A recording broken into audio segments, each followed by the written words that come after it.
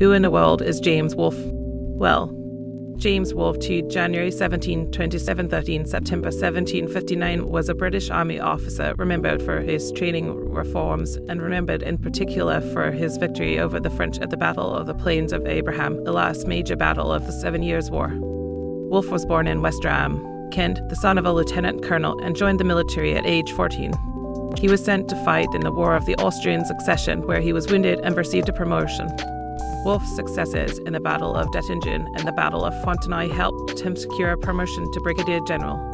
During the Seven Years' War, Wolfe was chosen to lead a major campaign to capture Quebec from the French.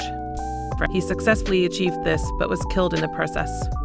His death was a major blow to British forces, but his legacy was secured by his victory at the Battle of the Plains of Abraham, which ultimately resulted in the fall of Quebec and the end of French rule in Canada.